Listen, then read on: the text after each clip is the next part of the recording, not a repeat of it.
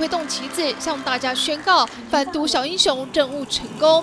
感谢他们的付出，市府颁发证书鼓励，许多家长一起见证孩子的光荣时刻。同学，请大家为他们掌声鼓励。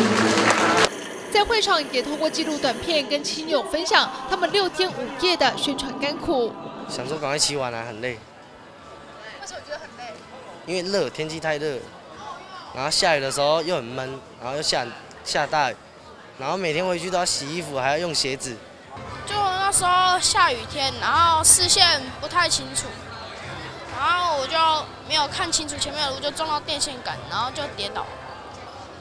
就就脚受伤，就先被送回去饭店。那你有放弃吗？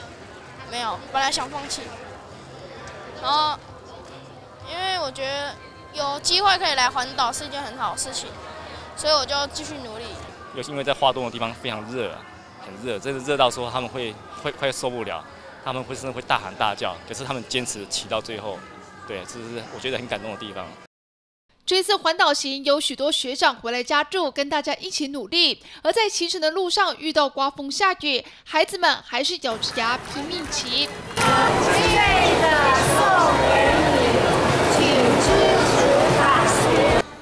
只得克服天空，还得突破心理障碍，走进人群发传单来执行反毒宣导任务。对于这群孩子而言，身心备受考验。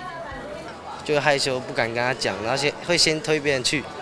然后后来就一起去，再就自己一个人去，然后就发了很多。虽然就是不知道说这个文宣发下去有没有什么帮助，可是搞不好就是刚好里面有一个人，可能他就有接触过毒品，或是他身边就即将接触毒品的环境，然后他拿到这个，可能就是让他可以突然想到，或是突然有警惕这样。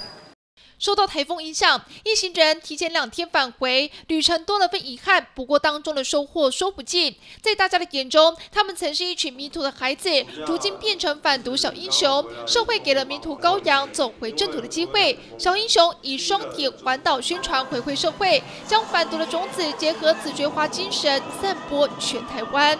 一起反毒。记者林佳桦台中采访到。